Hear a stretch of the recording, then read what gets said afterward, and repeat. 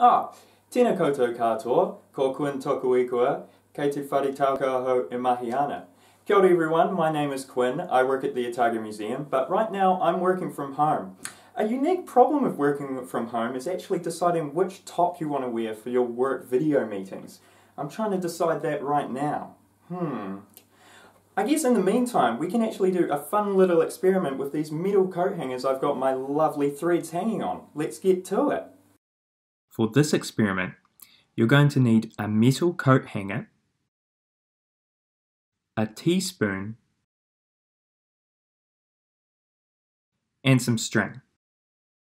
What you're going to do is cut the string into two even pieces, making sure they're not too long or too short. Then tie each piece of string to the coat hanger and the other ends to your fingers, making sure they're not too tight. Once that's done, it should look like this. You want the string to be quite taut, but long enough that you should be able to fit your head comfortably under it, which you'll see in a second.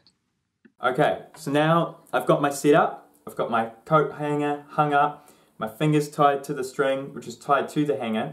What you want to do next is put your fingers in your ears. You're going to want to make sure that the string is nice and tight when you do so, and then get someone from inside your bubble to hit the coat hanger with a spoon. For this experiment, I'm going to get the cameraman to do it for me, and we're going to see what happens.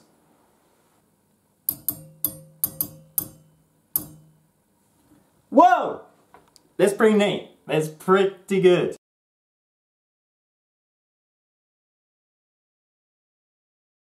So you might be wondering what happened at the end there.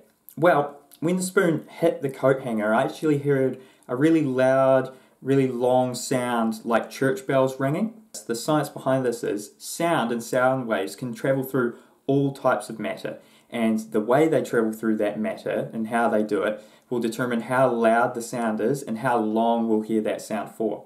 In the case of the metal coat hanger, molecules in metal are really tightly packed.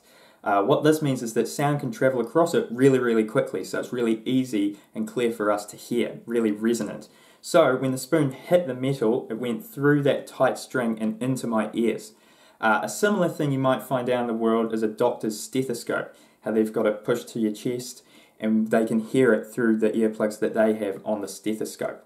I hope you guys have enjoyed learning a bit about sound today. Me, I'm going to pop off to that work meeting in my nice spiffy shirt, but I might catch you around later for some extra content. Take care.